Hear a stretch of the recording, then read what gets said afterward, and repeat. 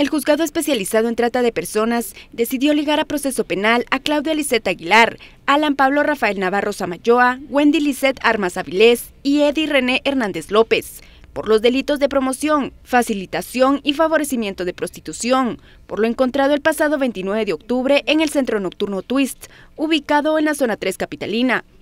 Los cuatro procesados fueron detenidos luego que las autoridades ingresaran a dicho lugar y tras allanarlo ubicaron una serie de pasadizos detrás de los espejos del lugar que conducían al lugar donde mantenían retenidas a mujeres que eran utilizadas para la prostitución y de donde se logró el rescate por lo menos de 20 de estas. Según el juzgado, además de ser ligados a proceso, estos podrán permanecer en libertad condicional, pues se les otorgó el beneficio de la medida sustitutiva mientras dura la investigación en su contra, para lo cual el Ministerio Público tiene un plazo de seis meses para concluirla.